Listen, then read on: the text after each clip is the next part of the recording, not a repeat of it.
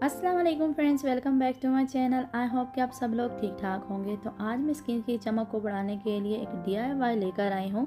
Skin colour कोई भी हो मायने नहीं रखता, बट हमारे चेहरे की स्किन का ग्लोई होना मायने रखता है। वैसे तो बाज़ारी केमिकल वाली चीज़ों से अपने स्किन को कुछ घंटों के लिए ग्लोई बना लेते हैं, बट इससे हमारी स्किन और डल हो जाती है। इसलिए आज हम अपनी फ्रिज से, अपने किचन से कुछ चीज़ों से मास्क बनाएँगे, जो हमारे स्किन को ग्लोई बनाएँगे इस समर में। तो चलें इस मास्क को बनाते हैं। एक साफ़ आलू लेकर इसको ग्रेट कर लेंगे और इसका जूस निकाल लेंगे। आलू के अंदर होता है नेचुरल स्किन लाइटन जो कि हमारी स्किन को ब्राइटन बनाता है। आलू का जूस हमें एंटी एजिंग से भी बचाता है। इसका जूस निकाल कर इसको साइड में कर लेंगे। दूसरा इंग्रेडिएंट लेंगे, जो कि सबकी फ्रिज में हमेशा होता है, वो है टमाटर। इसको भी ग्रेट कर लेंगे और इसका भी जूस निकाल लेंगे। टमाटर में सिलिसालिक एसिड होता है, जो हमारे स्किन पर ब्लीचिंग का काम करता है और स्किन को ब्राइट बनाता है। नेक्स्ट एक बाउल लेकर इसमें हम लोग मुल्तानी मट्टी ऐड करेंगे, जो कि नानियों दादियों के ज़माने से चली आ रही है। इसका वन टेबल स्पून ले लेंगे। ये स्किन को प्यूरीफाई और डिटॉक्सीफाई करने में हेल्प करती है और एक्सेस ऑयल को भी ख़त्म करती है ओपन पोस्ट को श्रिंक करती है। इसके बाद हम लोग इसमें ऐड करेंगे संदलवुड पाउडर। डेड सेल को रिमूव करने में हेल्प करता है। स्किन को ब्राइट करने के कुदरती एजेंट मौजूद होते हैं इसमें।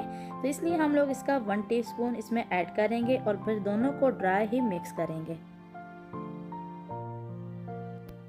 मिक्सिंग के बाद इसको साइड में रख लेंगे। अब जो हम लोगों ने रस निकाले हैं, आलू और टमाटर के, इनको आपस में मिक्स करेंगे। मेरे पास है फोर टेबल स्पून आलू का रस और इसमें सेम क्वांटिटी मैंने टमाटर के रस की ऐड करनी है और फिर दोनों को मिक्स कर लेना है। मिक्सिंग के बाद जूस को आहिस्ता आहिस्ता करके मुल्तानी मट्टी और संदलवुड पाउडर में ऐड करते जाएँगे और इनको मिक्स करते जाएँगे। यहाँ तक कि ये स्मूथ सा पेस्ट ना बन जाए।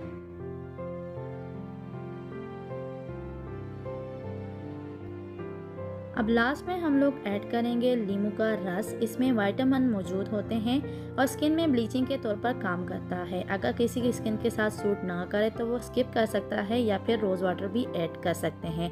अच्छे से दोबारा मिक्स करेंगे और पाँच मिनट के लिए इसे छोड़ देंगे। पाँच मिनट के बाद मास्क हमारा रेडी हो जाएगा। इसकी मोटी सी ते अपने स्किन के ऊपर अप्लाई करना है और फिर इसे 20 से 25 मिनट तक लगे रहने देना है।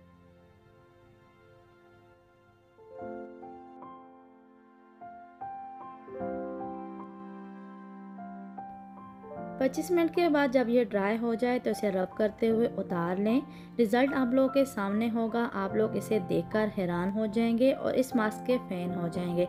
इस मास्क को फेस के अलावा हाथों, पैरों और गर्दन पर भी यूज़ कर सकते हैं। तो फ्रेंड्स कैसी लगी आज की वीडियो वीडियो अच्छी लगी है तो वीडियो को लाइक करें शेयर करें और चैनल को सब्सक्राइब करना मत भूलें। मिलते हैं एक नई वीडियो के साथ। तब तक के लिए अल्लाह हाफिज़, अल्लाह ने के बाद